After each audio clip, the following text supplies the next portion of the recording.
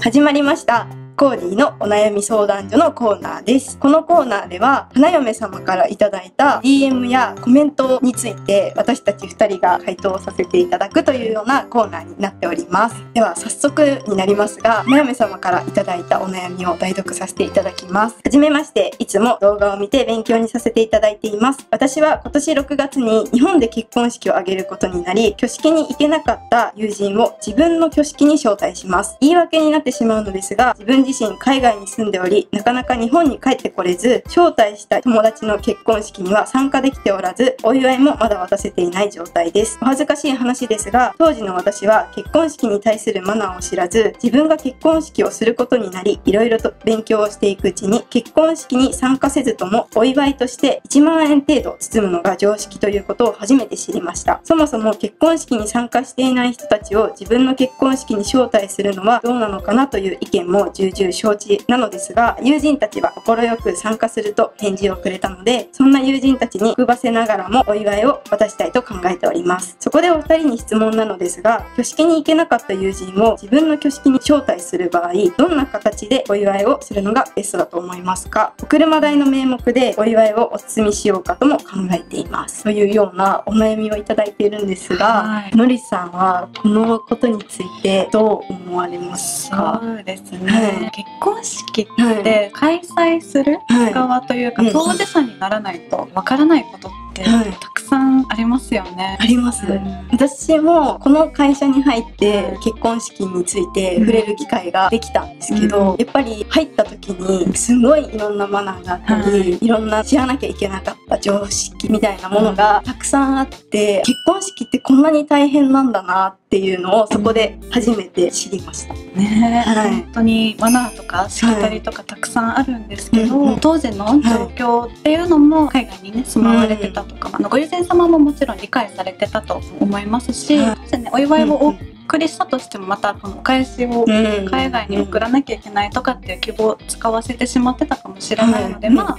気にしなくてもいいと思いますよっていうふうに伝えたいけど、まあでもご本人の立場としては気になるっていう気持ちは理解できるので、理解できます、理解できますよね、い、ろいろ方法はあると思っていて、ご相談いただいた方がおっしゃってたように、車代の名目としてお渡しするっていうのも一つ方法としてはいいと思うんですけど、私たちえたの答えとしては1万円程度の品物をお送りするっていうのがいいんじゃないかなっていうふうに思いました、お金じゃダメですか？そうですね。お金でももちろんいいとは思うんですけど、もらう側からするとちょっと気が引けてしまったりとか、それこそやっぱりお返ししなきゃっていうふうにまた気を使わせてしまうかなとも思うので、物がベストなんじゃないかなっていうふうに、まあ、私たちとしては考えましたね、確かにお金でもらうと結構なんか重みがあるので、もらっちゃった申し訳ないなみたいな気持ちにゲスト側もなる可能性があるって思うと、確かにギフトの方が互いに気楽な感じでできるかなって思いますね。そのものをご用意いただいて、お渡しするタイミングとしては、結婚式のお見送りの時、プチギフトをお渡しするタイミングとかで一緒にお渡ししてもいいかなと思いますし、結婚式の後、後日ご自宅にお届けするっていう渡し方でもいいんじゃないかなっていうふうに思います。なんか一つ思ったのが、お見送りの時とかに、まあ、ギフトをこう渡すっていうのもあると思うんですけど、引き出物のグレードとかランクをこう1個上げるみたいな方法とかって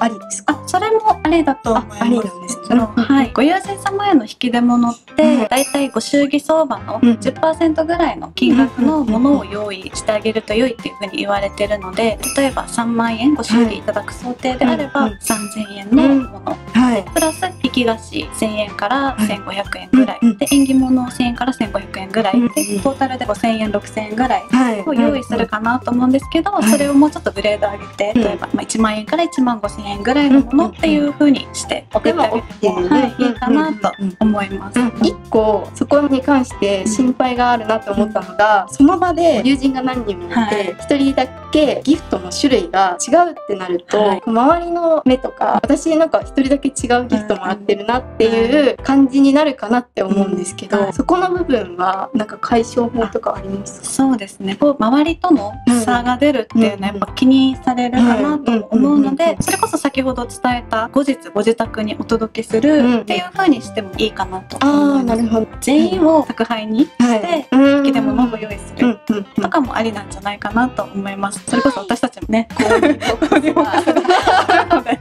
突 然宣伝みたいな流れになっちゃったんですけどワンセットからも送れるので、うん。その方だけ、別で送ってあげるっていう方法も全然ありかなと思うので、うん。そう無料なので。はい。使ってみてください。はい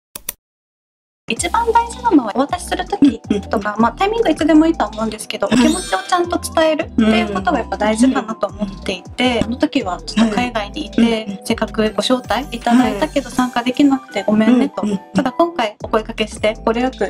来てくれたのがすごく嬉しかったよとその時のお祝いの気持ちも兼ねてご用意させてもらいましたっていうことをしっかり伝えていただければ、はい。もうそれで十分なんじゃないかなって思います。気持ちをやっぱ伝えると伝えない。じゃ全然重みも違うし、そういうふうに思ってくれたんだなっていう気持ちだけで、あありがとうって思うと思うので、そこが一番のポイント、ね。ということでコーディのお悩み相談所のコーナーでした。皆さんにお知らせがあります。4月の6、7の2日間限定でコーディーカーニバルの開催が決定しました。今回のコーディーカーニバルでは体験をメインにいろんなコンテンツをご用意しておりますので、お時間がある方はぜひ遊びに来ていただけたらなと思います。詳細については概要欄にリンクを貼っておきますので、そちらからチェックしていただいてご予約もできますのでよろしくお願いします。お願いします。